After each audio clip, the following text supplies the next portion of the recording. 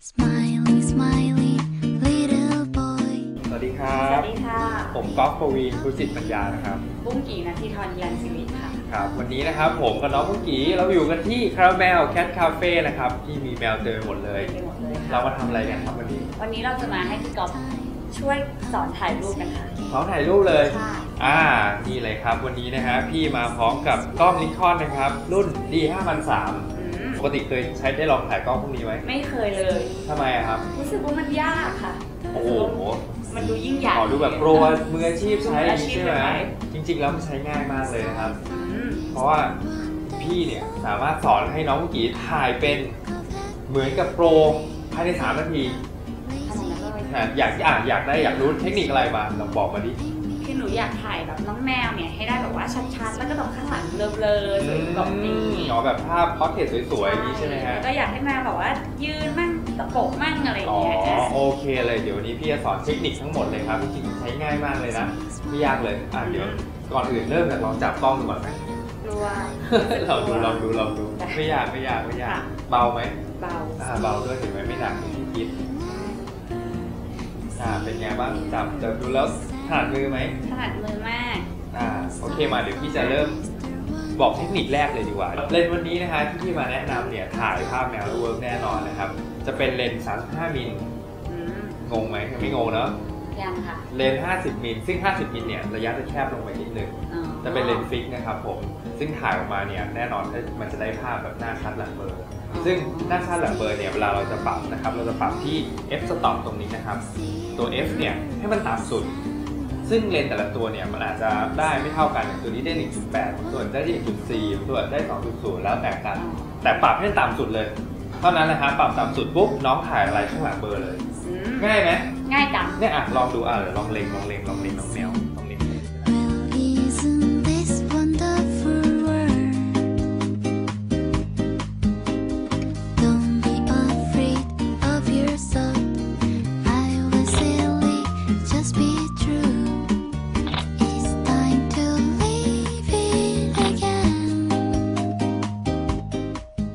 บอกว่าอยากถ่ายแมวกระโดด หรือว่าแมวเขายืนหรือแมวเคลื่อนไหวอย่างเงี้ยบางทีเราถ่ายด้วยกล้องธรรมดาทำไมมันเบลออืมใช่ไหมฮะมันจะภาพมันจะเบลอๆอย่างเงี้ยทำไงให้มันชัด ก็คือเราต้องปรับ speed shutter ครับอืมอ่าซึ่ง speed shutter เนี่ยก็ปรับไม่ยากครับ ก็คือปรับขึ้นมาให้มัน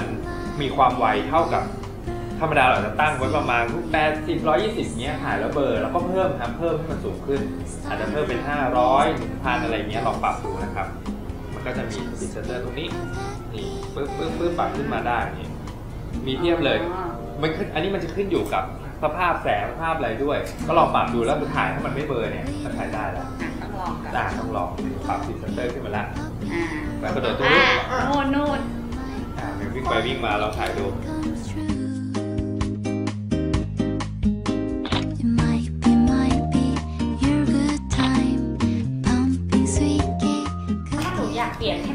เป็นแมวยืนเนี่ยแล้วหนูถ่ายต้องทำยังไงต้องบอกให้เขายืนเลยครับ ไม่ได้ครับไม่ได้คือจริงๆถ้าให้ยืนเนี่ยเคล็ดลับที่เด็ดที่สุดนะฮะคือเอาขนมล่อครับ อันนี้ต้องเอาขนมแมวล่อเลยอย่างนี้ที่มีขนมอยู่ในมือนี่นะครับวันนี้วันนี้พี่มีของมาล่อดูนะครับ ทันทีนี่เห็นไหมยืนแล้วเห็นไหมอะ ลองถ่ายดูเอายืนยืนกล้องเข้าไปตรงนี้เลยครับยืนเข้าไปแล้วปิดปิดจอลงมาเราจะได้ดูได้ปิดจออ่าแล้วกล้องอ่าอย่างนั้นเราก็ได้มุมเขายืนยืน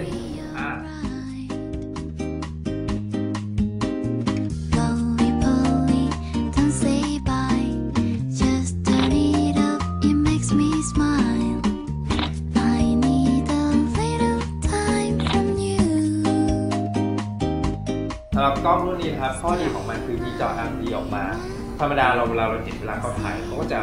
มองผ่าน viewfinder อย่างนี้ใช่ไหมครับซึ่งเวลาเราถ่ายแมวแมวเขาอยู่ระดับสายตาเขาอะฮะถ้าเราถ่ายระดับสายตาคนบางทีภาพมันจะไม่ได้ แต่กล้องตัวนี้เราสามารถวางลงไปที่พื้นแล้วก็พลิกหน้าจอขึ้นมาอืมแล้วก็ดูได้เลยบางทีอาจจะถ่ายมุมสูงมุมอะไรเงี้ยโดยที่เราไม่ต้องแบบว่าไปยืนต่อ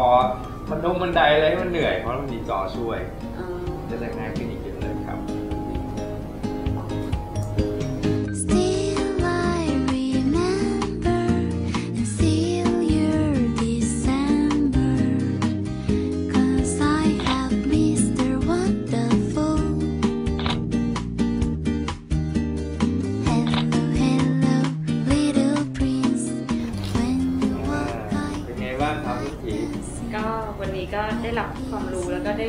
เทคนิคในการใช้เลนส์ใช้กล้องจากพี่กอฟเยอะเลยอืมใช่จากที่เคยถ่ายรูปธรรมดาแล้ววันนี้ถ่ายเหมือนโปรแล้วเหมือนโปรเลยจริงๆ แล้วก็รูปสวยมากอืมแล้วกลัวไหมยังถ่ายกลัวกล้องหรือยังเห็นที่แรกนี่แบบว่าใช้ยากเลิกกลัวไปเลยค่ะ ใช้ง่ายกว่าที่คิดไปเยอะเลยครับผมใช้นั่ง่านยแหละฮะง่ายต่อไปเนี่ยออกไปข้างนอกไปถ่ายเจอแมวทุกที่ไหนเนี่ยถ่ายได้เลยเพราะว่าสิ่งที่สำคัญของการถ่ายภาพนะครับคือการเก็บเอาความทรงจำบางทีเราไปเจอปุ๊บ แมวที่สงสัยเต็มไปหมดใช่ไหมครับไม่ต้องแมวหรอกอะไรก็ได้ แล้วเก็บเอาไว้แล้วนี่เรามีอุปกรณ์ที่ถ่ายออกมาแล้วได้ภาพที่สวยงามเนี่ยโอ้โหถ่ายฟิน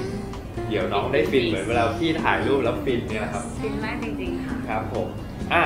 วันนี้ก็ขอบคุณน้องกี่มากนะครับขอบคุณพี่ที่กอฟมากๆคค่ะรับเช่นกันครับนี่ก็ที่สำคัญต้องขอบคุณนี่เจ้าเหล่าน้น้อองงแมแมววเหมียวที่นี่นะครับ มาเป็นแบบให้เราอะบายบายหน่อยวันนี้ลากันไปก่อน สวัสดีครับสวัสดีค่ะบ๊ายบาย Makes me